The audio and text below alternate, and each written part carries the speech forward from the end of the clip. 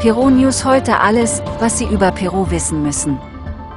Peruanische Gastronomie, Rezept für marinierten Fisch, ein Genuss für den Gaumen.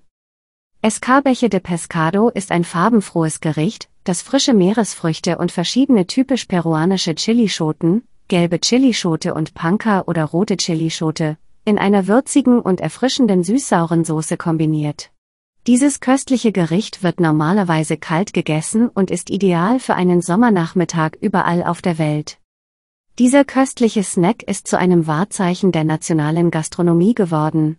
Eines der vielen Gerichte, die aus anderen Kulturen auf der ganzen Welt in unser Land kamen und die wir uns zu eigen gemacht haben, indem wir ihm die Geschmacksnote verliehen haben, die nur Peruaner zu verleihen wissen, ist eingelegter Fisch.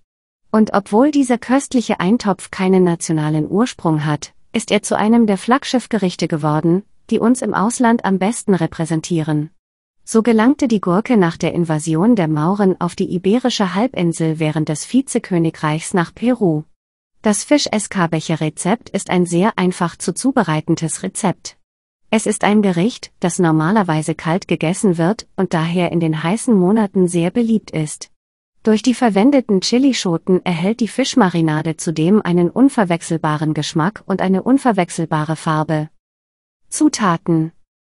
Am besten acht frische Fischfilets. Ein Viertel Tasse roter Essig. Vier mittelgekochte Süßkartoffeln. Vier hartgekochte Eier, in Stücke geschnitten. Acht schwarze Oliven halbieren. Drei gelbe Süßkartoffeln. Eine Tasse Fischbrühe. Vier mittelgroße rote Zwiebeln, in mittelgroße Stücke geschnitten. Zwei gelbe Chilischoten in Streifen ohne Adern geschnitten. Ein Salat. Ein Teelöffel Senf. Eins Maggi-Fischbrühewürfel oder eine andere Marke. Ein Teelöffel Panka Chili.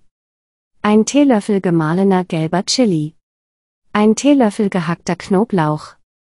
Öl zum Braten, vorzugsweise Olivenöl. Mehl. Salz, Pfeffer, Oregano und Kreuzkümmel. Vorbereitung 1. Die Fischfilets mit Salz und Pfeffer würzen und auf beiden Seiten mit Mehl bedecken, damit sie beim Braten nicht kleben bleiben. 2. Eine Bratpfanne mit Olivenöl erhitzen und die Fischfilets vorsichtig darin anbraten. Wenn sie goldbraun werden, entfernen Sie sie. Dritter, wenn das Öl des gebratenen Fisches nicht zu schmutzig oder verbrannt ist, verwenden Sie es zum Braten der Zwiebeln, andernfalls verwenden Sie eine andere heiße Pfanne, geben Sie Öl und die geschnittenen Zwiebeln hinzu.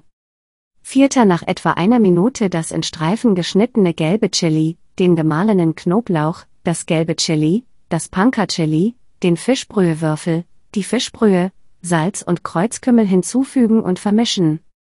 Fünfter nach ein paar Minuten braten den roten Essig dazugeben und abschmecken, wer es säuerlicher mag, noch etwas mehr hinzufügen.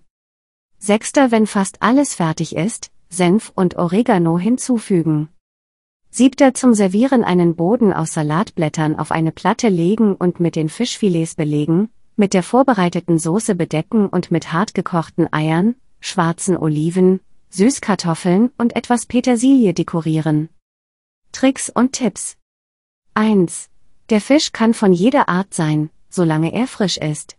Ich empfehle jedoch, dass er nicht zu fettig ist und nicht leicht auseinanderfällt, damit er den Saft aus der Soße aufnimmt. Zweiter bereiten Sie die Fischmarinade einen Tag vorher über Nacht zu und lagern Sie sie an einem trockenen Ort ohne Feuchtigkeit und bei Zimmertemperatur. Wenn es zu heiß ist, bewahren Sie es im Kühlschrank auf, nehmen Sie es jedoch einige Stunden vor dem Verzehr heraus. Der Geschmack der Marinade ist von Tag zu Tag spektakulär.